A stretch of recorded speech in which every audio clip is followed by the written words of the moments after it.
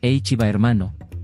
Las tensiones aumentan en la Liga MX a medida que nos acercamos al partido de ida del Derby Tapatío, que promete ser uno de los partidos más calientes de la temporada. Sin embargo, el director técnico del Atlas, Benjamín Mora, ha dejado claro que no le preocupan las máximas estrellas de Chivas, Alexis Vega y Víctor Guzmán, de cara al crucial partido del jueves.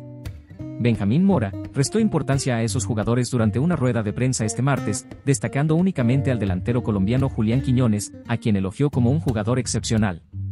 Esta postura desdeñosa hacia las figuras clave de Chivas está provocando la ira entre los seguidores y provocando que muchos cuestionen las tácticas previas al partido de Mora.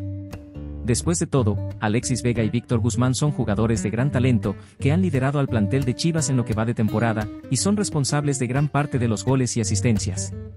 ¿La estrategia de Atlas se basa en subestimar a estos jugadores y subestimar el poder ofensivo de Chivas? Chiva hermano, quienes están indignados por estas declaraciones y se movilizan en las redes sociales para apoyar a sus jugadores y enviar un mensaje claro a Atlas, no subestimes al equipo de Chivas. El derby tapatío es un partido histórico y muy emotivo que exige respeto y lealtad, y los jugadores de Chivas están listos para demostrar que son una fuerza a tener en cuenta. Entonces, el mensaje para Atlas es claro, Alexis Vega y Víctor Guzmán son jugadores talentosos y experimentados que pueden cambiar el juego en un instante. No los subestimes y no los menosprecies, o corres el riesgo de perder ante un equipo que no debe ser subestimado.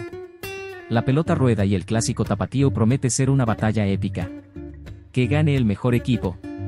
Hey mi querido, Chiva hermano, ¿qué le dirías a Benjamín Mora tras estas palabras? Deja tu comentario abajo, porque tu opinión es muy importante. Y mi querido, Chiva hermano, si eres nuevo aquí en el canal, te invito a que te suscribas al canal, para que no te pierdas las últimas noticias de Chiva, que publicamos diariamente aquí en el canal.